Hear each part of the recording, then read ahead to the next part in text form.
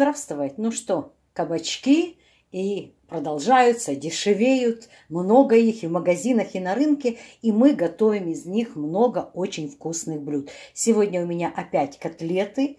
Э, в самом тесте, в самом составе нету абсолютно муки, только панировка.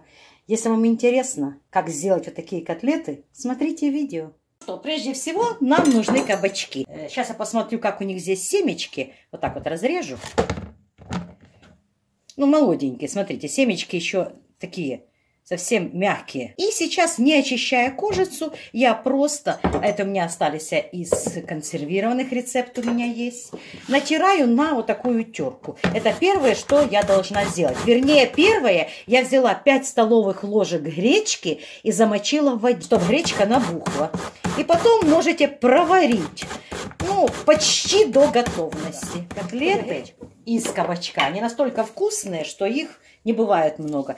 Теперь где-то вот на эти два кабачка 2 столовые ложки соли. Вот так перемешаю, ничего не жмакаю пока.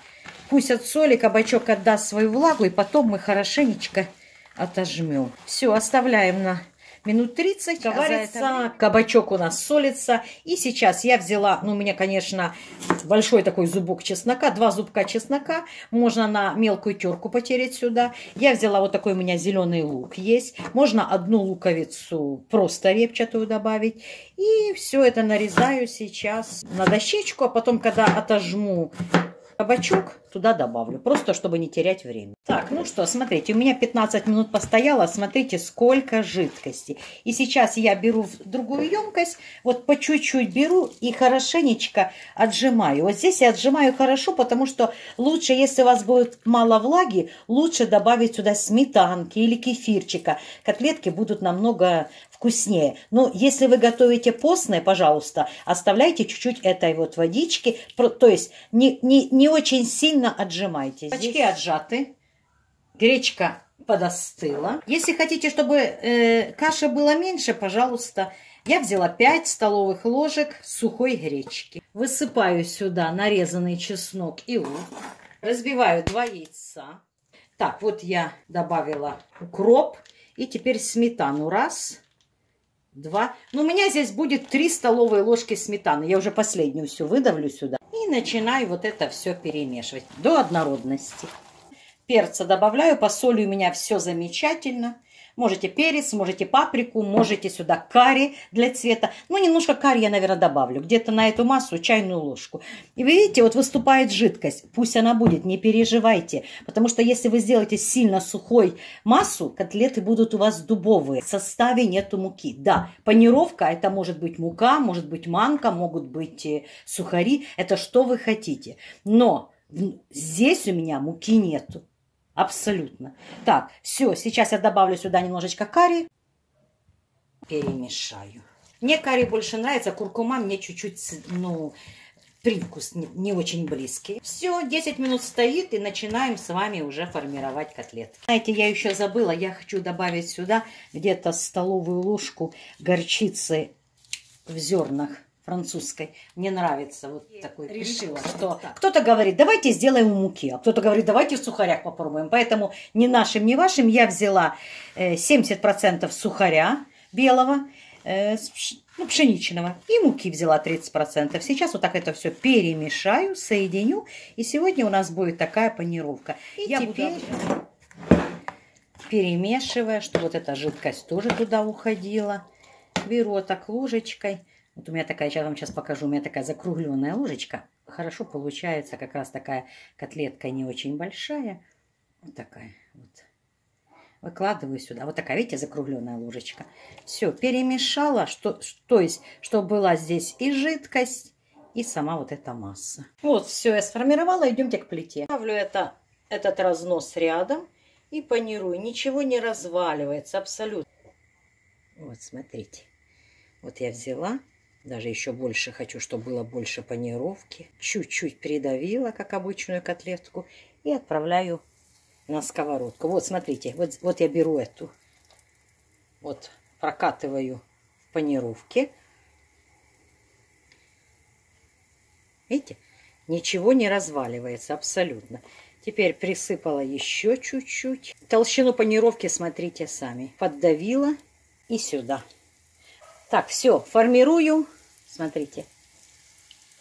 Без проблем. Извините, я вас немножечко трушу, но у меня оператора нету. Шариваю на среднем огне, чтобы не сильно медленно и не сильно быстро. Ну, смотрите, берутся хорошо. Я все при вас показываю. Чуть-чуть больше огонь сделаю. Смотрите, как отлично переворачивается. Поэтому я говорю, что не бойтесь той жидкости. Все будет хорошо. Жира видите сколько? Не надо фритюр делать. Накрываю крышкой и пусть обжариваются с той стороны. Вот сейчас они и обжарятся, и пропарятся. А я формирую следующую партию. Посмотрим, что у нас. Ах, какая красота.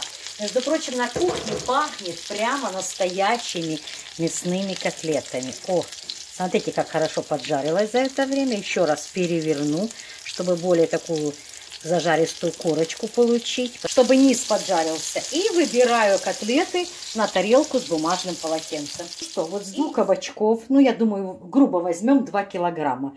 У меня получилась вот такая тарелка замечательных, красивых, ароматных, нежных котлет. Так что я вам советую приготовить этот рецепт, но я слышу, вы говорите, покажите, какие они внутри, Потом мы вам поверим. Хорошо, сейчас я вам все покажу. Мы с вами сейчас попробуем эту вкуснятину. Вы посмотрите на структуру, как котлета держит форму. Это вот последние, они, конечно, горячеватые. Смотрите, ничего не разваливается. Вот я, смотрите, как котлету делаю, чтобы вы не говорили, что разваливается там. Нет, в меру жирные, просто замечательно. Сейчас сметанки и оформлю чуть-чуть котлетку и будем пробовать. Что, вот видите, пригодился и огуречный цвет. Вы можете использовать цветы, какие хотите для подачи. Ну, казалось бы, простое блюдо, что здесь выдумывать. Ну, это ваше желание. Хотите выдумывайте, хотите нет.